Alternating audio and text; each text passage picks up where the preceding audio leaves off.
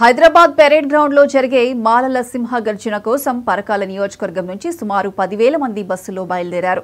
వర్గీకరణతో మాలలు రిజర్వేషన్లు కోల్పోతారని దళిత వర్గీకరణను విరమించుకోవాలని పరకాల మున్సిపల్ మాజీ చైర్మన్ మార్త రాజభద్రయ్య డిమాండ్ చేశారు.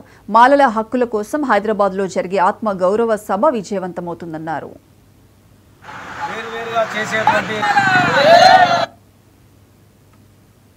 రాజకీయ కుట్ర జరుగుతుంది.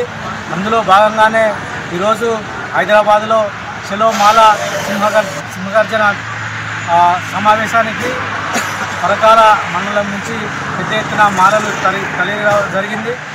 ఏదైతే కుట్రపూరితమైనటువంటి ఈ మాల మాదిగ రిజర్వేషన్ని వేరు చేయాలని చూస్తున్నటువంటి పా- ఈ పాలకులకు ఈ అవకాశాన్ని విరమించుకోవాలి. ఈ ఆలోచన రావద్దు. దళితుల ఐక్యతే మా ధ్యేయంగా ఈరోజు మాల సింహాకర్షణ జరుగుతుంది కాబట్టి దళితులకు న్యాయం చేసి రిజర్వేషన్లు పెంచేటువంటి అవకాశం ప్రభుత్వం కల్పించాలి తప్ప దళితులను వేరు చేసి రాజకీయ పబ్బం గడపడానికి ఇటువంటి అవకాశం చేయొద్దని మాలల తరఫున దళితుల తరఫున ఈరోజు ప్రభుత్వాన్ని హెచ్చరిస్తున్నాం. రాష్ట్రంలో దళితులను